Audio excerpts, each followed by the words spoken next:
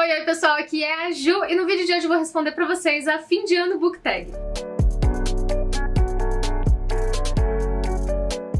Essa é uma tag que eu já respondi ano passado, é uma tag super legal de fim de ano, assim, com as suas metas de leitura, o que você pretende ler, terminar de ler, ou até mesmo começar o ano seguinte lendo. Então vou mostrar pra vocês e contar aí quais são as minhas metas, expectativas de leitura aí pra esse finalzinho de ano e também pro começo do ano seguinte. E pra quem é novo aqui no canal, sejam bem-vindos, aproveita pra já se inscrever no canal e não perder os próximos vídeos. Ano que vem, vem aí com tudo, não é mesmo? Vem aí! Então eu vou trazer muitos conteúdos legais aqui no canal, se você é novo por aqui aqui. Aproveita para já conferir os conteúdos anteriores e já então ativar o sininho aí também, deixar um curtir nesse vídeo para acompanhar os próximos conteúdos. Bom, gente, vamos então para as perguntinhas dessa tag. A primeira pergunta é: tem algum livro que você começou esse ano e ainda precisa terminar? Tem sim, gente, tem um livro aqui que eu comecei já, que é o Os Despossuídos, da Ursula Le Guin. E esse é um livro de ficção científica. É o tipo de livro que eu demoro e enrolo muito para pegar para ler, sabe? Mas geralmente eu gosto muito, geralmente eu gosto de ficção científica, acabo me envolvendo com os livros, enfim, tem muitos livros de ficção científica que eu amo. Inclusive, uma das minhas metas para o ano seguinte é ler mais ficção científica. Já era a meta desse ano também, né? Acabou não rolando exatamente como eu esperava, mas eu vou continuar com essa meta pro ano seguinte. E esse é um dos livros que eu preciso ler até o finalzinho deste ano, gente. Então, assim, torçam por mim, porque eu ainda estou mais ou menos no começo e o final do ano já tá aí, né? Já tá acabando, então preciso terminar esse livro. A segunda pergunta é: você tem algum livro primaveril para te ajudar na transição para o fim do ano? É, eu não sei se aqui no Brasil a gente costuma fazer essa coisa de transição de uma estação para outra, de um ano para outro, assim, muito bem definido, né? Mas tem um livro que eu acho que é a cara, tipo, do verão, não é nem primavera, né? Mas a cara, assim, do verão, de praia. Inclusive a capa dele, né? É a cara mesmo do verão. Que nós temos três mulheres de maiô, né? Então, um maiô bem daqueles antigos, assim. E esse é a Amiga Genial da Helena Ferrante, que é o primeiro livro da série napolitana da autora. Eu pretendo começar, não, não sei se eu vou começar exatamente em janeiro, mas eu pretendo começar o ano aí com essa série, né? Pretendo ler os quatro livros ano que vem, se Deus permitir. Mas é, estou confiante, gente, porque esse ano eu li acho que três livros da autora e eu nem esperava ler tantos livros dela assim do nada, né? Começar a ler, ler vários. Então, os que eu li eu gostei, pretendo continuar lendo e esse aqui vai ser um dos livros que vamos ver, né? Se eu consigo pegar logo no comecinho do ano, enfim. Não sei se vai ser essa pegada de transição de, enfim, estação ou fim de ano, mas pretendo ler assim que eu puder no começo do ano que vem. Pergunta número 3.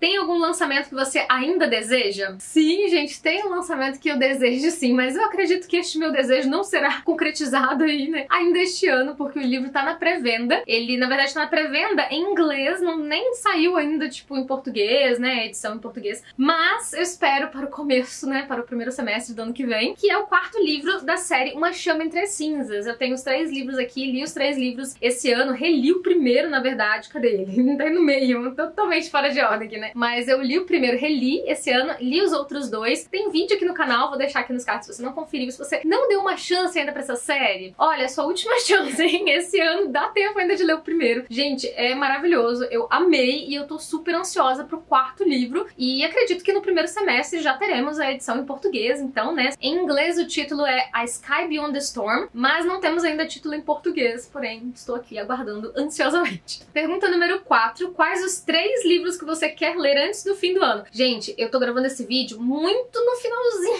já de dezembro. Não tem condições de eu ler três livros ainda até o final do ano, porque realmente eu não leio essa quantidade de livros assim muito rápido. E eu sou uma pessoa que não faz muitas metas. Assim, geralmente eu faço e não cumpro. Então, assim, eu até evito fazer muitas, muitas metas, né? Eu deixo meio em aberto e aí até faço às vezes alguma coisa ou outra de meta. Eu coloco, inclusive, naqueles vídeos de update de leituras que vocês acompanharam aí ao longo do ano, né, de 2020. E eu coloco geralmente quatro livros livros, às vezes três, às vezes cinco, mas nem sempre eu cumpro, às vezes eu insiro outros, ou troco, ou leio mais ou menos do que aquilo que eu coloquei. Então, assim, é uma zona, né? Mas eu não tenho três livros para mostrar para vocês que eu pretendo ler até o final do ano, justamente porque falta muito pouco para este final de ano. Porém, como eu falei, eu preciso terminar Os Despossuídos, eu vou terminar este ano ainda, inclusive essa semana, e eu quero muito começar e talvez terminar, mas possivelmente não terminar e só, assim, ler o máximo possível, né? De O Poderoso Chefão esse ano ainda, né? É um livro que eu quero muito ler, tá numa edição muito bonita. Eu amo os filmes, eu já falei isso com vocês. Justamente, né, no vídeo de update de leituras agora, referente a novembro, mas com as metas para dezembro. Então eu tinha colocado mesmo esse livro na minha TBR para esse mês de dezembro. Porém, em vista do andamento, né,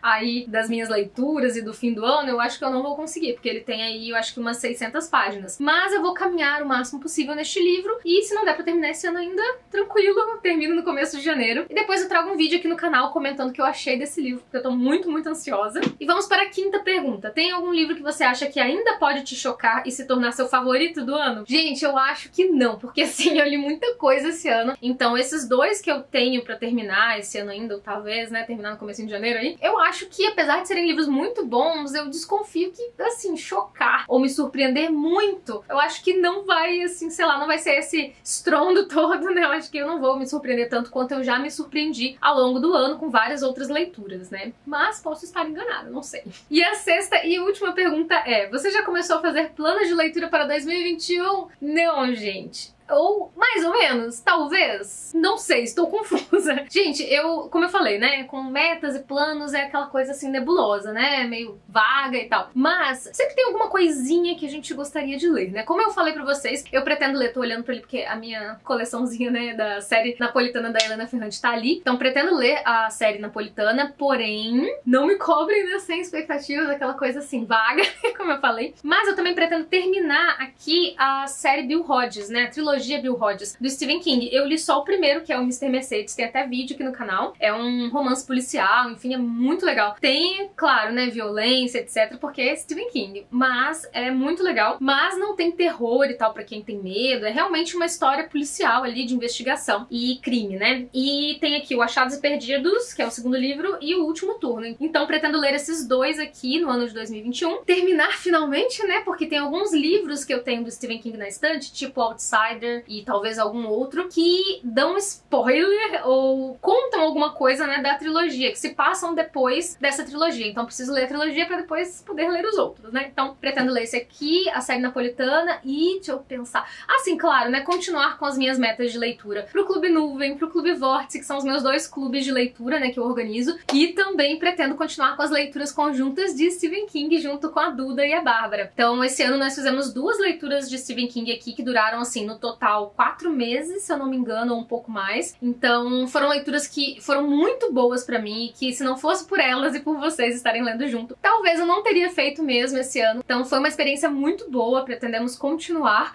E em janeiro eu acho que se bobear a gente já começa aí na segunda quinzena mais um livro do Stephen King para este clubinho do King que nós estamos criando aí. Então é isso, essas são as minhas metas mais ou menos para o ano de 2021. Fora isso, eu quero deixar bem aberto para eu realmente, né, pegar as leituras aí na estante, desencalhar alguns livros. E provavelmente no começo de janeiro nós já teremos ali o vídeo de update de leituras mostrando para vocês as minhas metas para janeiro, para fevereiro, enfim, né? Então todos os meses a gente tem esse vídeo onde eu mais ou menos traço ali umas metas de leitura e tento cumprir ao longo do mês. E é isso, gente. Tag respondida. Espero muito que vocês tenham gostado de acompanhar, gostado de saber um pouquinho de como eu me organizo e como serão as minhas próximas leituras. Me conta aqui nos comentários se você já tem planos de leitura para 2021, se você faz realmente ali uma TBR pro ano todo, se você realmente cumpre. Me conta tudo aqui nos comentários. Vejo vocês então nos próximos vídeos aqui do canal. Um beijo e até lá. Tchau, tchau.